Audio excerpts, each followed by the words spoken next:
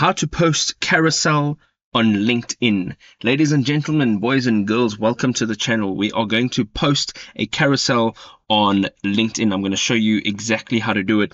It's a great way to showcase your images or presentation. So let's jump straight in. The first thing you want to do is have a carousel prepared and there are a few things you need to note. A carousel on LinkedIn needs to be uploaded as a PDF and not as images. So this is how we go about it. I love Canva because Canva allows you to do so much. Canva even has LinkedIn carousel uh, presets templates. So as you can see, if you type it in, as you start typing it in, there's a LinkedIn carousel. It actually has the LinkedIn icon. It also sizes it properly for you. So it's the exact size that you need. You can go here, you can choose your template.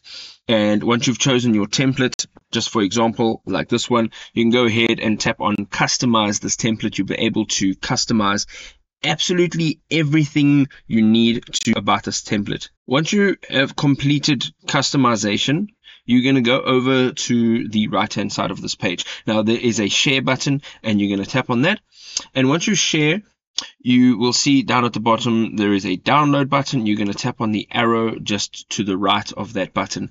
And over here it says file type right at the top. And you want to just make sure that it does not say PNG. You want to make sure that it says PDF standard. We're going to select that. You're going to tap on download and it'll be downloaded to your device. The next step involves just going back in to your LinkedIn account.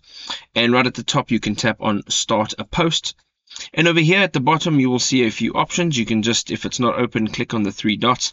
And you're going to look for the icon that looks like a piece of paper and it says add a document. Now you're going to tap on that and it'll allow you to go into your device and choose the document from there. Over here you can see I have a document prepared and it is again in PDF format and you're going to tap on open. Now it is starting to open. It gives you a size over here. It also gives you a name, tells you how many pages it is. And as you scroll down here, you can actually see what it will start to look like. At the top, you're going to add a descriptive title to your document. So we're just going to do uh, title one. That's very descriptive. And we're going to go ahead and right over here, you can tap on done. Now, at the top it says what do you want to talk about? And here you can pretty much put anything you would like to over here uh, maintaining the same sort of idea that is actually going to be in your carousel. You're going to go ahead now at the bottom and the little clock icon allows you to schedule this post for later. You can do so or you can just tap on post and it'll now be posted publicly. I hope you enjoyed this video. If it was awesome, drop us a thumbs up. If you like our content, you can subscribe to our channel. We'll see you next time. Cheerio.